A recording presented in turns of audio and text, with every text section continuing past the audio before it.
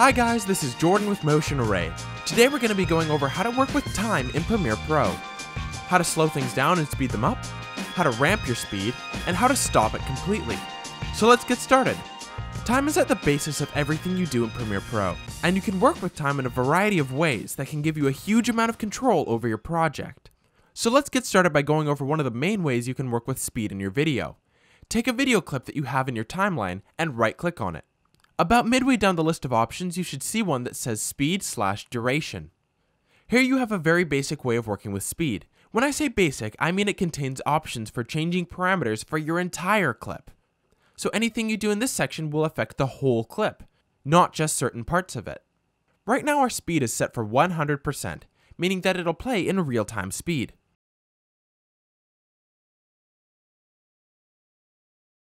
If we change this amount to 200%, our clip will play at double speed. If we set it to 50%, it'll play at half its normal speed.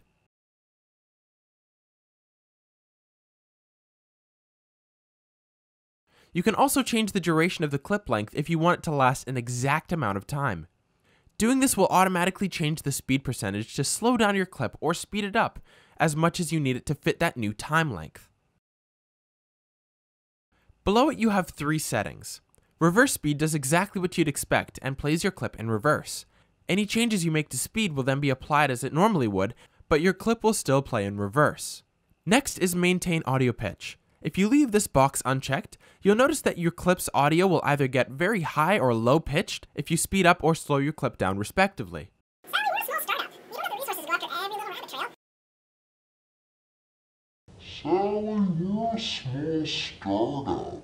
If you check this audio box, it'll keep your audio pitch the same regardless of how much you change your clip speed. Sally, we're a small startup. Sally, we're a small startup. You don't have the resources to go after every little rabbit trail. Finally, the last option is Ripple Edit. By selecting this box, whatever changes you make will impact the rest of your timeline. If you shorten a clip, everything behind it will maintain its normal position in relation to the end of that clip. So if you make the clip play faster and shorten the clip length as a result, your timeline will scrunch towards it to keep its position, like so. And if you leave it unchecked, your clip will change but nothing else in your timeline will be affected. Now, most of us, when we hear about slowing things down, think about super slow motion and how awesome those types of clips look. But it's important to remember that just because you reduce your clip speed doesn't mean that it'll look the way you want it to. Let's take a look at a clip whose frame rate is 24 frames per second, and we'll reduce its speed to 25%. This means that it'll play at one quarter its original speed, and we can see that it doesn't look very smooth. It's incredibly choppy, and it doesn't have a desirable look. This is because reducing speed by one quarter means our resulting clip isn't playing at 24 frames per second, but 6 frames per second. If we want to have smooth motion, we need to shoot at a higher frame rate. Here's the exact same shot, but at 96 frames per second. And when we drop it down to one quarter speed, it plays at 24 frames per second. This looks way smoother and much better. As a general rule, if you want slow motion clips to look smooth, they need to be able to match the frame rate of our timeline. So for our 96 frame per second clip on a 24 frame per second timeline, we shouldn't drop its speed below 25% if we want to keep it looking smooth. If you're in a pinch and you don't have any footage that you can have shot at a higher frame rate, you may be able to push your clip a little bit farther by adding what's called optical flow. If you go back to your speed slash duration section, you can see that there's a drop down menu for time interpolation. What this does is tell Premiere how to present new frames to you. By default, it's set to frame sampling. With this setting, Premiere will simply play each frame one after the other.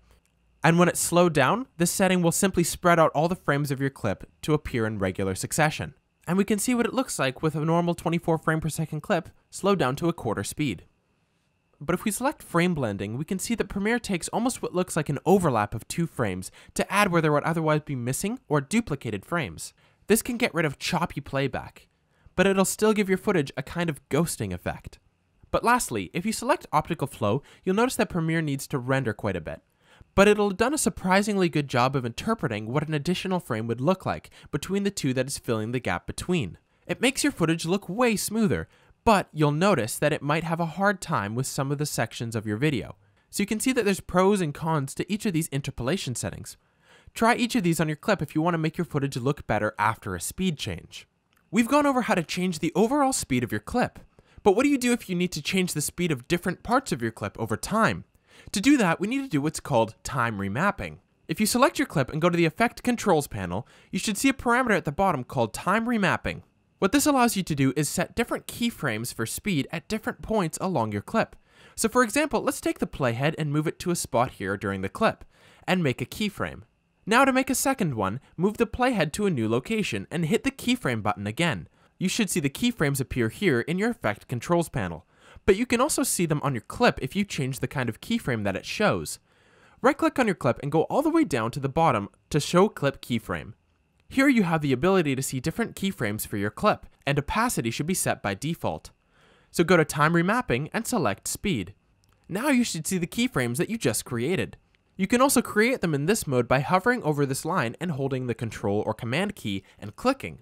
Now that you have this setup, you can move different sections of your clip up or down on either side of each keyframe, and your speed for that section will be increased or decreased.